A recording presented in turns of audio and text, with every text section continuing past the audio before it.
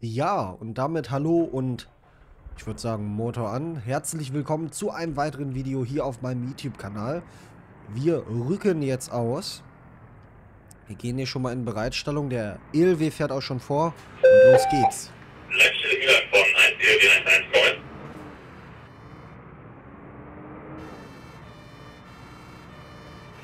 Ihre Leitstelle Müller kommen.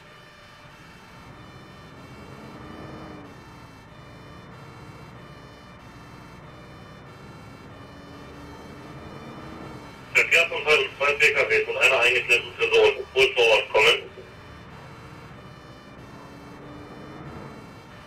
Ja, kleines Ende.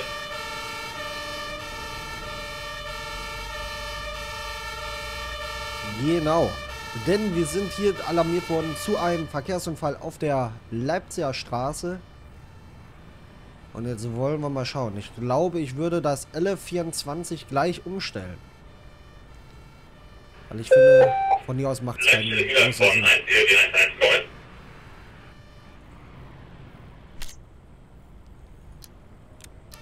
Ihre Leitstelle Müller kommen.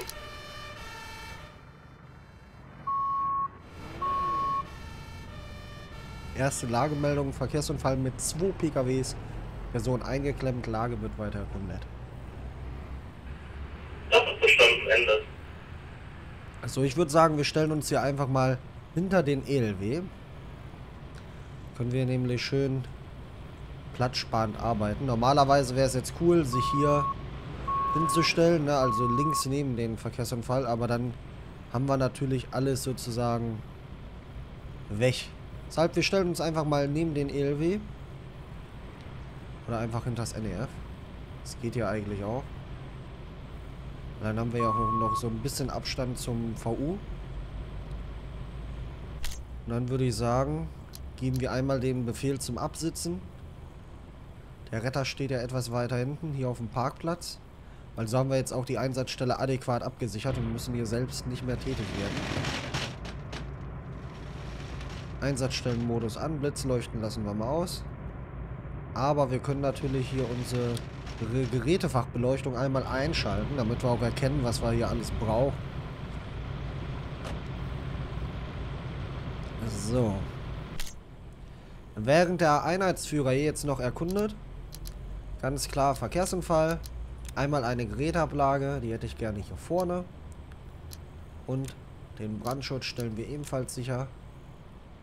Das Ganze können wir hier machen, dass das so ein bisschen getrennt voneinander stattfindet. Müssen wir jetzt hier gar nichts machen? So nichts? Als Maschinist, das ist ja etwas langweilig. Ich dachte, wir müssen jetzt hier mehr arbeiten.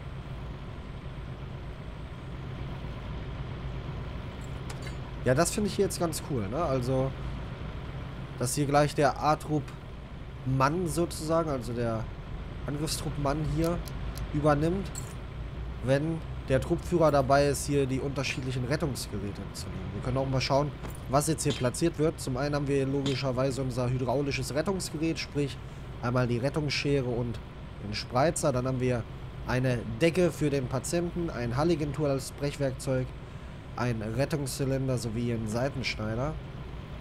Was man natürlich noch dazu packen könnte, wären jetzt irgendwie so kleinere Werkzeuge. Wobei da wäre es halt einfach einfacher, wenn man jetzt hier so einen Werkzeugkasten hätte. Haben wir allerdings hier nicht. Die Bremsblöcke könnten noch mit drauf.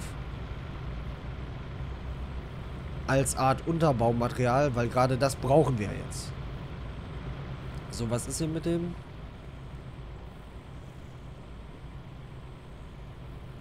Schauen wir, ob wir die Tür aufkriegen. Die Tür klemmt fest. Es wird nicht einfach, sie zu öffnen. Ganz ruhig, wir holen sie da raus. Ne? Wir beruhigen erstmal den Patienten, beziehungsweise in dem Fall ja die Patientin. Ne? Und dann würde ich vorschlagen, leiten wir eine technische Rettung ein. Machen dafür eine Zugangsöffnung. Das bedeutet, wir gehen hier wieder auf Verkehrsunfall. Lassen einmal das Fahrzeug sichern. Leitstelle wieder von 1 ELW 119.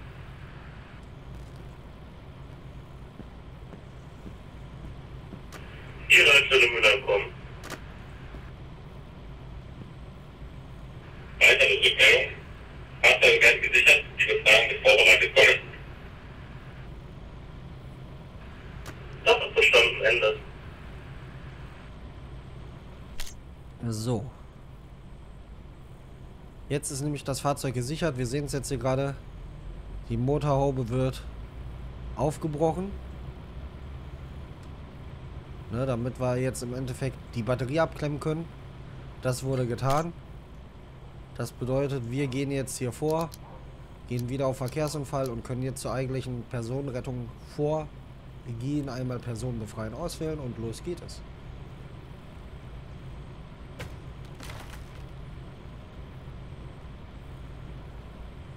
So, wir können uns das hier mal neben dem Einsatzleiter einfach so ein bisschen angucken, was die Damen und Herren jetzt machen. Jetzt kommt nämlich der Spreizer zum Einsatz.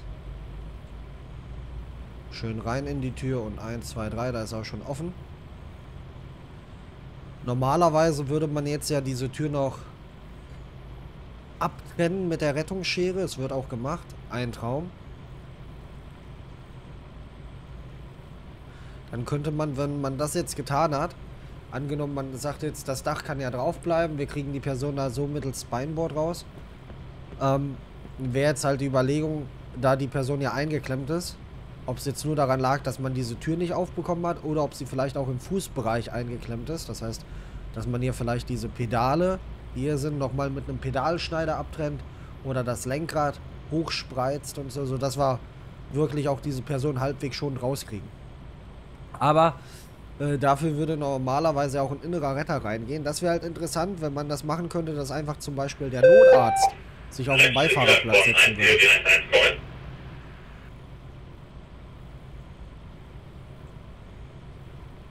Hier Leitstelle Müller kommen. Weitere Rückmeldung.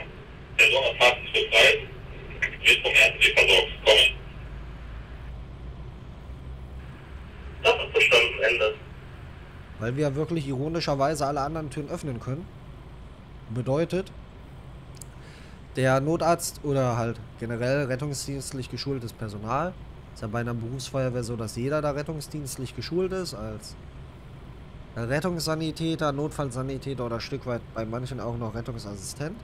Und deshalb wäre es jetzt hier in dem Fall kein Problem, ne? hätte sich der Notarzt einfach hier hinsetzen können und fertig. Das wäre deutlich einfacher gewesen, aber okay. Ne, weil dann hätte man jetzt den inneren Retter gehabt, der würde jetzt überprüfen, logischerweise einmal das Verletztenbild ne, von dem Patienten, gleichzeitig hier schauen, haben wir irgendwo Airbags, die noch nicht ausgelöst haben. So, wir lassen die erstmal funkeln. Dann legen wir hier weiter. Leitstelle Müller kommen. Rückmeldung. Fahrer mit äußeren Verletzungen, Abtransport zum Krankenhaus für weitere Untersuchungen eingeleitet kommen. Das ist verstanden, Ende. Fahren die da immer so lang? Weil wenn die jetzt immer außen, also links sozusagen lang vorbeifahren, dann hätten wir uns nämlich auch hier schräg stellen können. Das wusste ich nicht. Ich war der Meinung, dass die, dass wir halt hier freilassen für den RTW, weil ich das noch so kenne, dass der RTW an der Einsatzstelle einmal durchzieht. Das heißt, das wurde auf jeden Fall überarbeitet, was ja primär auch nicht schlecht ist. Aber um zur Thematik zurückzukommen, normalerweise der innere Retter würde halt dann schauen, ne, gibt es Airbags, die noch nicht ausgelöst haben und und und haben wir irgendwie, ähm, also abgesehen von der Patientenbetreuung und den irgendwie beruhigen, ein Stück weit da erste Maßnahmen zu treffen. Ne? Dann gegebenenfalls Handbremse anziehen, Warnblinker einschalten und so, weil dadurch, dass der Warnblinker an ist, erkennt man dann später auch, dass die Batterie abgeklemmt ist, weil die ja nicht mehr leuchtet, logischerweise. Aber nun gut. So. Für uns war es das. Wir haben jetzt hier im Endeffekt die technische Rettung vorgenommen. Der Einsatzleiter guckt sich das nochmal wertend an. Wir haben die technische Rettung vorgenommen, den Brandschutz sichergestellt, das Fahrzeug gegen Wegrollen gesichert, Batteriemanagement betrieben. Was man jetzt noch hätte machen müssen, logischerweise. Hier sieht man es jetzt nicht so gut, weil die Tür halt einfach heil ist. Aber wir haben keinerlei Glasmanagement gemacht. Das müsste man natürlich vorher machen. Ne? Wäre halt die Frage, ob man sowas noch einfügen kann. Ne? Im Endeffekt die Scheibe abzukleben. Dann könnte man ja einfach Klebeband nehmen, dann interagiert man da, der hält das gegen und zack ist die Scheibe abgeklebt. Und dann zeitgleich ähm, mit einem Federkörner dagegen zu gehen, also so einem Metallbolzen, der dann auf Spannung sozusagen diese Scheibe zum Platzen bringt. Das wäre ja eine Möglichkeit, damit man zum einen das Ganze noch so ein bisschen realistisch hat, weil wenn ich jetzt hier mit so einem Spreizer rangehe und diese ganze Tür deformiere, dann ist es logisch, dass da auf jeden Fall das Glas dann kaputt gehen kann, was wiederum auf den Patienten fallen könnte. Was auch effektiv gewesen wäre, wäre, wenn der innere Retter jetzt von der anderen Seite zum Beispiel der Patientin die Wolldecke überlegt. Aber nun gut. Das heißt, wir haben soweit unseren Einsatz abgearbeitet, können hier zusammenpacken. Jetzt dürfen wir auch endlich tätig werden. Das heißt, einmal Sulligan-Tool schnappen. Hier wieder zurück. So. Noch was? Na klar, nochmal ein Bremsblock. Allerdings laufen wir hier nicht so wie der Einheitsführer durchs Trümmerfeld, sondern schön außen rum. Großen Zeitdruck haben wir auch nicht mehr.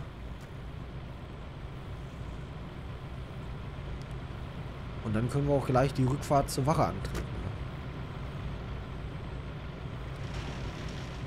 So, dann tritt hier einmal wieder hoch.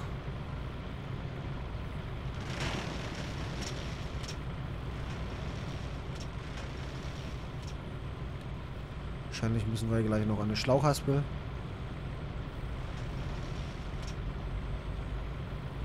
Ne. Junge, Junge, Junge. Oder? Doch.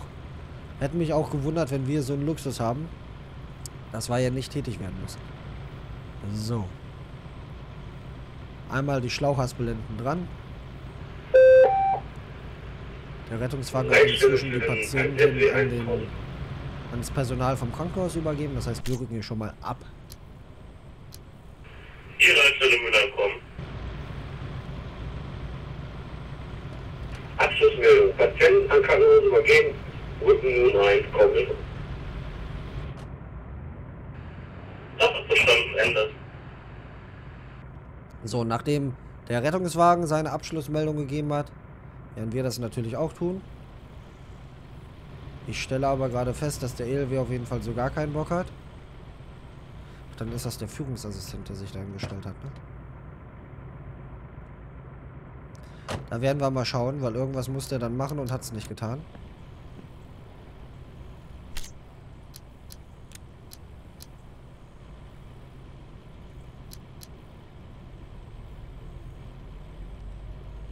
Das 11 ist jetzt auch schon weg, das heißt, wir fahren dann einfach mit dem ELW zurück.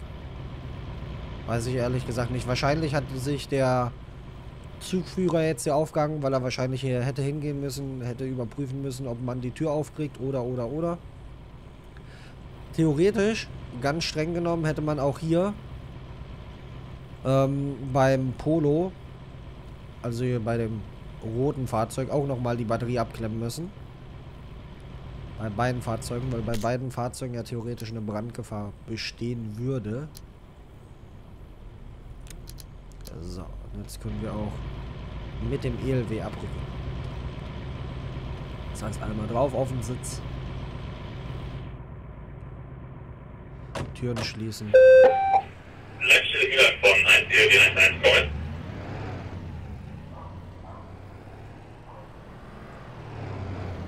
Ihre Stelle Müller kommen.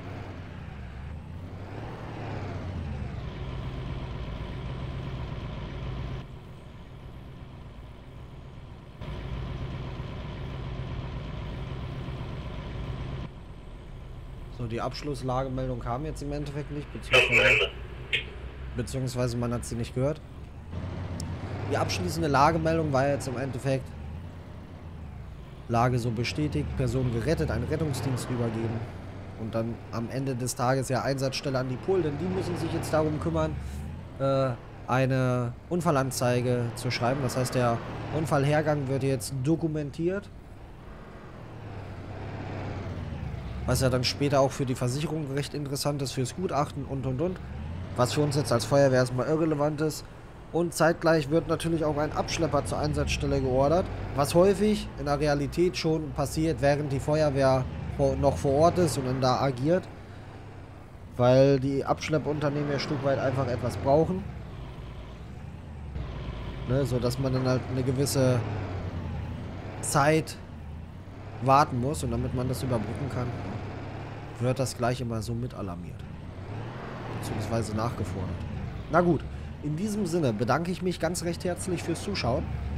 Und wir sehen uns dann am Freitag wieder bei einer weiteren Folge Notruf 112, die Feuerwehrsimulation. Bis dahin, tschüss.